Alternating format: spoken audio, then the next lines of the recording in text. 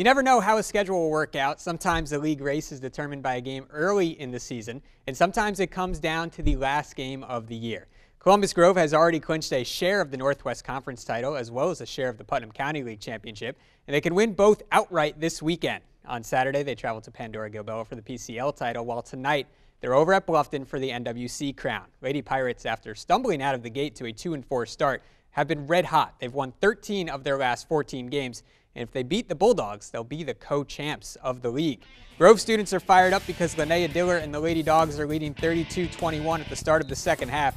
Pirates strike first in the third. A freshman, Olivia Koenig, floats it home, finished with 13 points, 8 rebounds, and the deficit is 9. But Grove answers back with Kyrie Yinger in transition. Nice bounce pass to Jade Clement. 13 for Jade as the lefty lays it in. Then Yinger distributing again, this time to Macy McClure. Three of her 12 points, 37-23 Bulldogs. Brian Schrader's team is on a run. Yinger again with a nice pass to Clement.